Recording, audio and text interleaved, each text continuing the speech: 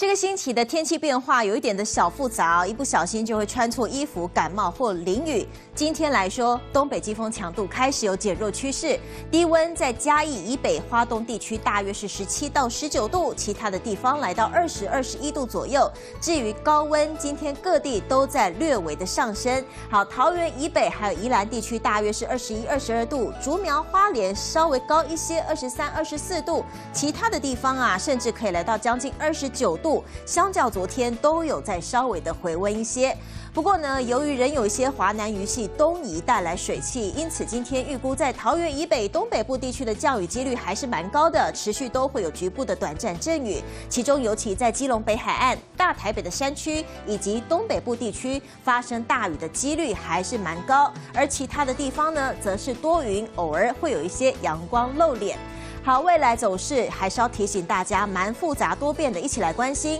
明天来说，温度会进一步的回升，除了在宜花东地区有局部短暂阵雨，各地是渴望迎来阳光露脸。台北市明天来说呢，高温就可以回升到大约二十五度左右，低温二十度左右。那么到了星期四要开始留意了，其实星期四的上半天气温都还是偏暖的，不过在中午过后就会有一道锋面开始通过，接下来呢，台中以北东半部。地区开始转为有雨的天气，接着东北季风再南下，北部的气温到了夜晚就会明显的下滑，下探十六到十八度。而冷空气最强的一天就出现在星期五这一天。不过呢，会由星期四的湿冷开始转为干冷的天气形态。各地其实天气都是好的，晴到多云，只是就是很冷。而且呢，天气稳定之下，白天的这个北部的高温也不会超过二十度，低温甚至下探十三度，整天。凉冷，那么中部以南则是要留意日夜温差更大了。中部以南的低温呢，到了夜晚甚至也下探十三、十四度而已。郊区有渴望呢挑战十一度的低温。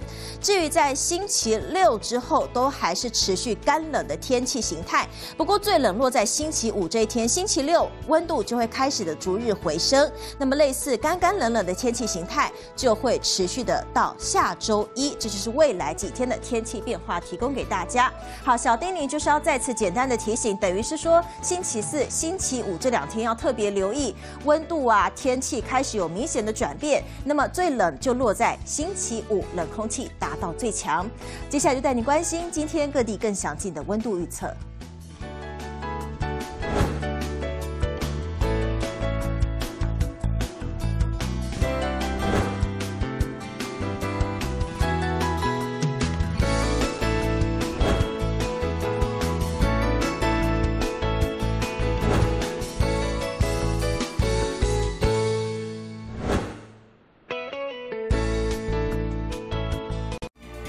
我是刘佳，我喜欢与您分享地球大小事、最新时事、国际脉动、财经动态，还有气象资讯，最接地气的新闻台，让你重要消息不漏接，聊天的话题也不脱钩。当然，更多新闻请锁定中视的 YouTube 频道，记得按赞、订阅、分享，还要开启小铃铛哦。